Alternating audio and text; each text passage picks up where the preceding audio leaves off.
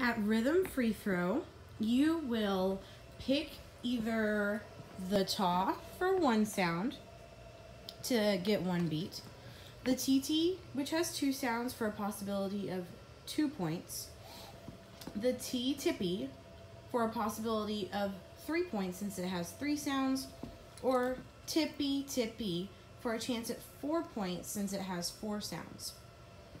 I'm feeling kind of brave today, so maybe I'll pick tippy tippy and I will come back and I'll stand either on or right next to my green block that says tippy tippy. And then I get to have two shots, two free throws to try and make it. If I miss it on the first one, I get to do it again. If I make it the first time, then I get to do it again as well. So it was a miss, but I still have one more chance. So I'm gonna grab another one. Maybe I'm not feeling as brave this time since I didn't make my other one. I'm gonna stand at TT. Let's see if I make it. Oh, still didn't make it. So I didn't get any points for that time, but if I would have made it on TT, I would have had two points. If I would have made it on Tippy Tippy, I would have made four points.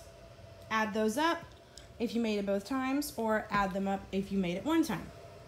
That is rhythm free throw.